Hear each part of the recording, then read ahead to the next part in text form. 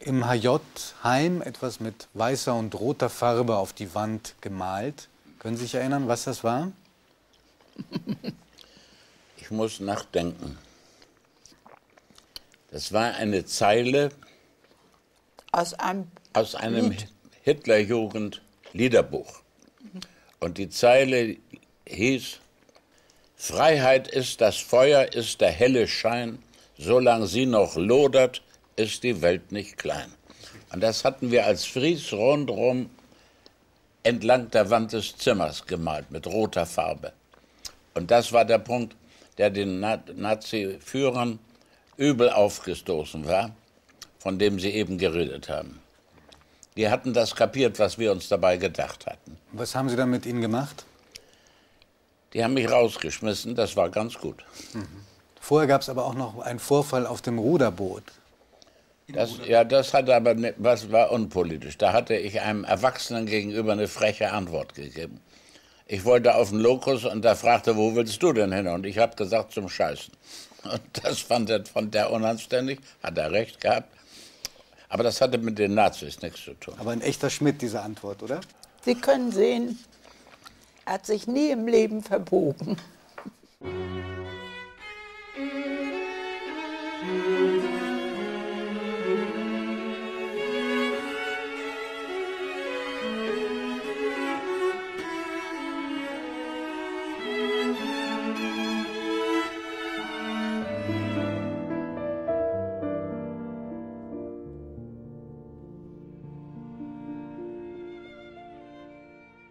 Es heißt, Sie seien angefeindet worden an der Schule, weil Sie zu chinesisch ausgesehen hätten.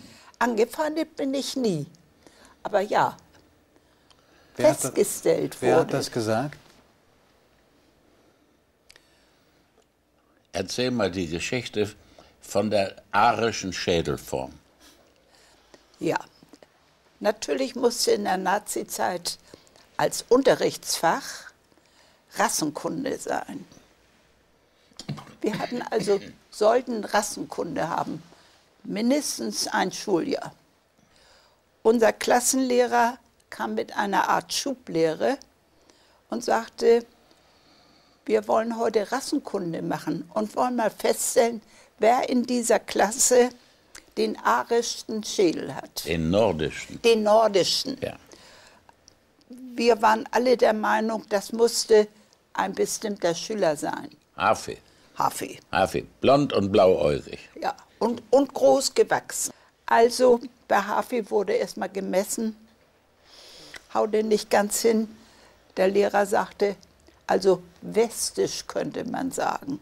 Dann wurde dieser gemessen und jener gemessen und es war schon beinahe die Dreiviertelstunde des Unterrichts vorbei. Da sagte unser Lehrer dann, jetzt messen wir mal bei Loki. Und siehe da, ich hatte den arischsten Schädel, den man sich vorstellen kann. Der Lehrer verkündete es und lachte. Es gab ein brüllendes Gelächter und das war das Ende von der Rassenkunde in unserer Klasse für das ganze Schuljahr. Der Schulleiter, der als Nazi bei uns angefangen hat und den roten Saus da ausmessen wollte. Zindler. Zindler. Der hat, nachdem er mit Kollegen, die bei uns in der Klasse unterrichtet haben, äh, sich ein bisschen genauer über die Loki Glaser informiert hat, in der Behörde gesagt, das wäre doch schade, wenn die nicht Abitur machte. Schulgeld kann sie nicht bezahlen. Und da bin ich auf der Schule geblieben. Unter einer Alle. Bedingung. Unter zwei Bedingungen. Ja. Kannst du nicht, hat er zu mir gesagt, deine Eltern bitten, dass du in den BDM eintrittst? Das war das eine.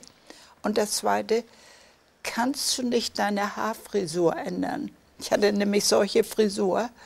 Und da habe ich mir dann einen stolzen Mittelscheitel. Sollte die Frisur arischer aussehen? Ja, oder jedenfalls mehr Deutsch. Ja. Was haben, denn, was haben denn Ihre Eltern, was hat Ihr Vater, der politisch eher links stand, gesagt, als Sie Mitglied des Wir haben BDM wurden? Familienrat veranstaltet. Meine Eltern haben mit uns drei Kindern gesessen und wir haben hin und her überlegt und sind zu dem Ergebnis gekommen, wenn sie auf der Schule bleiben kann, dann geht sie eben in BDM. 41 kommen Sie sich wieder näher. Ihr Mann war Soldat, Sie waren Lehrerin und ähm, versprechen sich etwas auf einer Parkbank in Berlin. Können Sie sich an diesen Moment erinnern? Aber sicher nicht eine Parkbank. Heute klären wir es ein für alle Male. Es war eine Bank unter einer U-Bahn-Überführung. Die U-Bahn sowohl in Hamburg als auch in Berlin ist ja eine Untergrundbahn und eine Hochbahn, je nachdem, wie die, wie die Streckenführung gibt. Und am Nollendorfplatz in Berlin ist es eine Hochbahn. Und unter der Hochbahn ist ein Fußgängerweg und das stehen Bänke. Und auf solcher Bank war das. Also keine und, besonders romantische Kulisse. Die Romantik haben wir diesem Ort selbst beigebracht. Das haben andere Leute nicht gesehen. Helmut musste nächsten oder übernächsten Tag nach Russland. Wenn er halt zurückkommt, wollten wir eigentlich die Zweisamkeit, die wir nun einige Tage genossen haben, fortsetzen und heiraten. Das Ganze spielt im Sommer 1941. Und wir waren beides erwachsene Leute und wussten infolgedessen beide, dass wir nicht wussten, ob wir den Krieg überleben würden.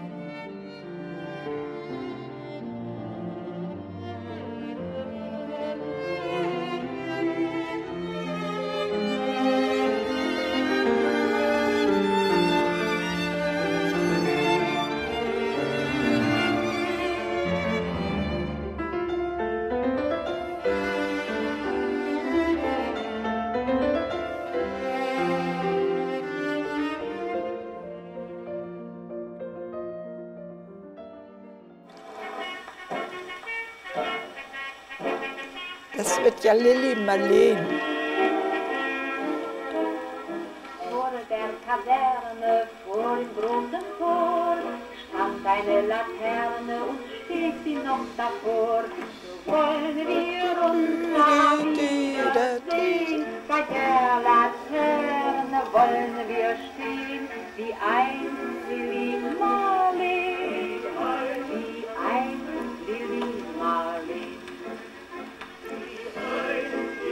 Aber ist das nicht ein Phänomen, dass dieses Lied nicht nur bei deutschen Soldaten, sondern auch bei äh, ausländischen Soldaten ein Riesenerfolg war? Das ist doch ein Phänomen. Gab es denn irgendein Lied, was in dieser Zeit als Soldat Sie mehr bewegt hat als dieses?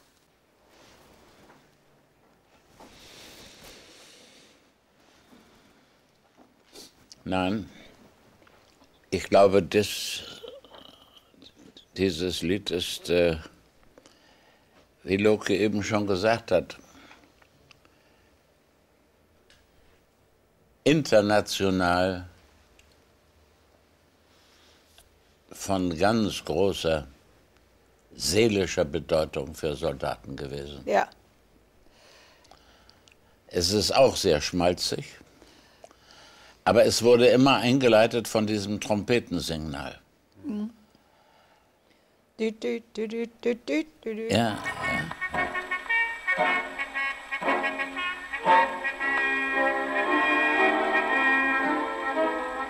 Deine Stimme kennt sie, deinen schönen Gang.